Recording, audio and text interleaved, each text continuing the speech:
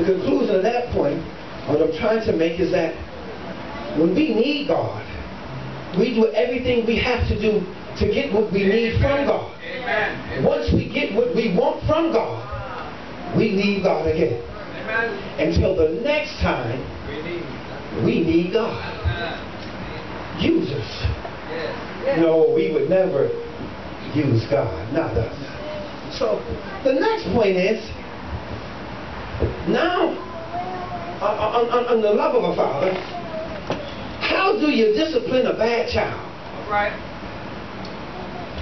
A father that loves a child has to be very careful, women too, because we will tell our children that we are proud of them when they're doing nothing. Uh-huh. Let me explain to you. We want to be our children's friends so bad. We want to get the acceptance of our children so bad. I'll say, Sister Pat, I'm so proud of you. Sister Pat ain't doing nothing. Everything I ask her to do in church, she won't do it. But I'm so proud of you, girl. I just love you to death. I tell Mother Sam, Mother Sam, I'm proud of you, girl. You're doing such a great job. She sleep every Sunday. She sleep from praise and worship until the, the church is over with. I'm proud of you. I love you. We tell our children we're proud of them when they don't want to go to college. Welfare is their next hope. How, how proud of you you want to better yourself? Don't you know welfare keep you where you are forever? Forever. They don't give you a raise in your, in your welfare check. And if you get a raise, it's two or three dollars. It's like being on a job and they give you a 50 cent raise. They gave you 20 more dollars a week. And gas is going up by the day. We, being parents, have to encourage our people, our children, to do way more than what they're reaching for. If they're reaching for an associate's, we should encourage them to get a bachelor's. All right. All right. If they're reaching for a bachelor's, we should encourage them to get a master's. And if their their their their limit is for a master's, we should you know if you go a little more longer, you can get a doctor's. Yeah. Yeah. Yeah. Yeah. Yeah. If they're happy with high school and they don't think college is them, we should encourage them to go to a technical school. That's right. That's right. Amen. If they're happy with the technical and they got it, and they still don't want to go to college, we should help them find a good job. Yes. Amen. Get the good job, then we need to teach them how to save their money. We need to teach them that you don't got to buy the $120 Nikes, because if you spend your whole check, you'll have nothing to save. That's right. That's something to be proud of. But what we will do, we will entertain our children into staying exactly where they are and giving them no desire to go no further. Church folks, let me explain to you what I mean. Right. It's not enough just to want to be a member of a church. Right. Right. If you're happy with being a member, my job as pastor, pastor, one job is assistant pastor, the minister's job is to encourage you to be a nursery board. Amen. Not to just be happy and satisfied with being a member.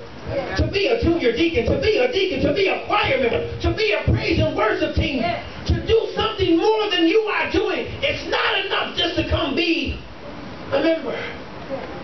Amen. You should desire more. You should see yourself five years from now. I'm going to be a preacher with the preachers. Yeah. Amen. So I'm going to start right now reading the Word, studying the Word, learning about the Word, calling with the preacher saying, can I hang out with you? Because I want to be more than I am. Yeah. Amen. Amen. Amen. This is what the love of a father is. God saw us as sinners, and He wasn't satisfied with us just being sinners. Yeah. He wanted to encourage us to be saints. Yeah. Amen. Amen. On the praise and worship team. I'm going to encourage them to be deacons. I'm going to encourage them to do more than they've been doing. That way, they can really see the love of God. They can see me in them. They can see that I've grown things. I planted and the results of what I planted. We should have a desire as fathers to, to encourage our children to be all that they can be. I'm more than having a desire to watch you just be a member of the United House of God and be satisfied with that. My My job is to encourage you to be whole. To be better men, better women, better children, better saints of the Most High God. And the enemy self, when you get to look at yourself in the mirror, you can say, wow. Yes. Thank you, Lord. I remember I used to fall asleep in church. I remember when I used to nod off. I remember when I didn't want to come to church. I remember when I didn't believe in God. But look at me now.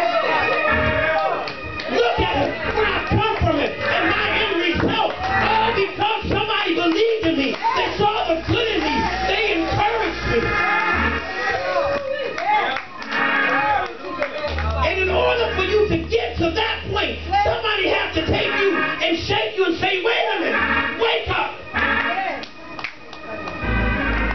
You can't shirk or, or rebuke discipline. They might have to tell you to get up and be on time. Be ready when dinner's come to pick you up. Stop being late. Stop walking doing service. Stop talking doing service. God will have an answer for you, and you will miss because you were talking to somebody else when God was trying to talk to you. We're talking about the love of a father. God sees what you go through in your neighborhood, trying to get from one place to the next, and God is telling you what street to go down and what street not to go down. He's telling you who to have as a friend or who not to have as a friend. He's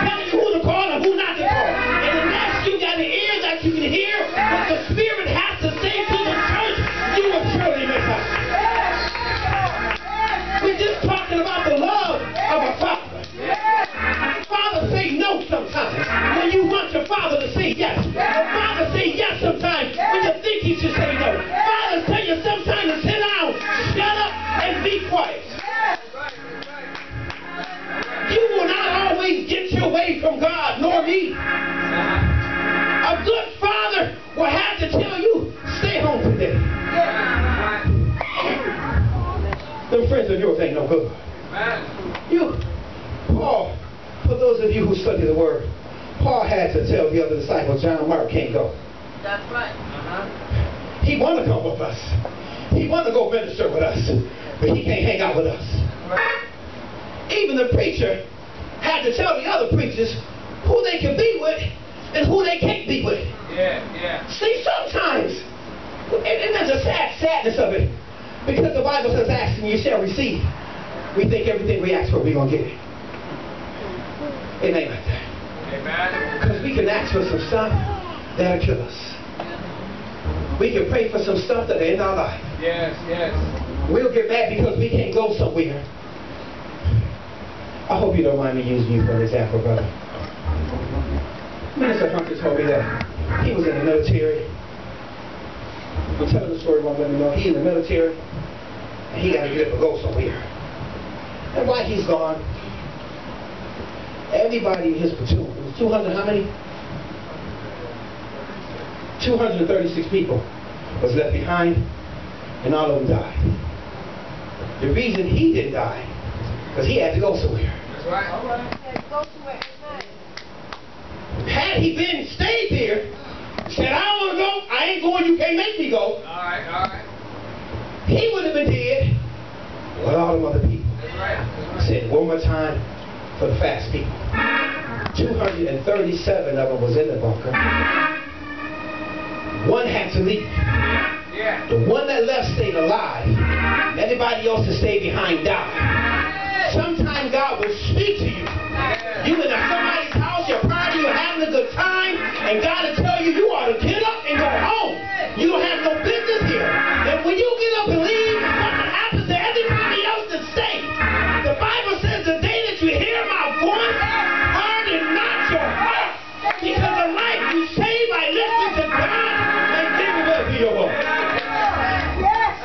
My last point that I'm making. We, we just talking about the love of a father. All right, all right.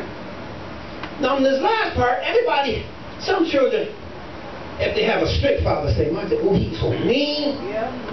He is so mean." Now, listen, I'm gonna tell you about my father.